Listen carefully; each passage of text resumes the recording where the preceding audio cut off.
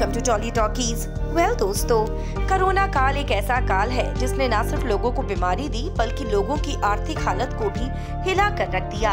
लोगों के काम धंधे बंद हो गए, लोगों की जमा पूंजी खत्म हो चुकी है। और अब टीवी के एक सीनियर एक्टर ने भी इस बात का खुलासा करा है कि उसके पास इलाज तक के पैसे नहीं है। कौन है वो एक्टर चलिए हम आपको टेली टॉकीज पर बताते हैं। लेकिन अगर अभी तक आपने चैनल को सब्सक्राइब नहीं करा है तो ज़रूर करें और बेल आइकन को भी दबाएँ। दोस्तों टीवी के जाने माने एक्टर हैं राजेश खट्टर, जो ना जाने कितने सालों से फैंस को एंटरटेन कर रहे हैं। साल 2019 में राजेश और वंदना के घर उनके छोटे बच्चे ने जन्म लिया, जिसका नाम उन्होंने वनराज रखा। जिसके बाद वंदना को डिप्रेशन हुआ, वो अस्पताल में गई और वहाँ पर उनका काफ़ी सारा पैसा लगा। लेकिन उसके बाद कोरोना आया। कोरोना के दौरान राजेश को और उनके पिता को दोनों को कोविड हो गया। राजेश खट्टर तो बाद में ठीक हो गए, मगर कोरोना की वजह से उनके पिता की मौत हो गई।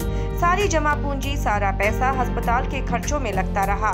खुद वंदना ने अपने इंटरव्यू में बताया, हमारी बहुत सारी सेविंग्स पूरे साल अस्पताल के खर्च में चली गई। काम बिल्कुल नहीं है और जितनी सेविंग्स थी, इन दो साल के लॉकडाउन में चली गई। उन्होंने ये भी बताया कि कुछ समय पहले उनके बेटे को भी आईसीयू में भर्ती करना पड़ा था और तब से केवल एक एड में ही काम करने को मिला। यानी कि राजेश की और उनकी बीवी वंदना की फाइनेंशियल हालत इस टाइम बहुत ज़्यादा खराब है। उन्होंने सीधा सीधा बोला है कि अब पैसे बिल्कुल नहीं है। सेविंग्स भी खत्म हो चुकी है। हालत ये है कि खाने और इलाज के पैसों के भी वादे पड़ चुके हैं।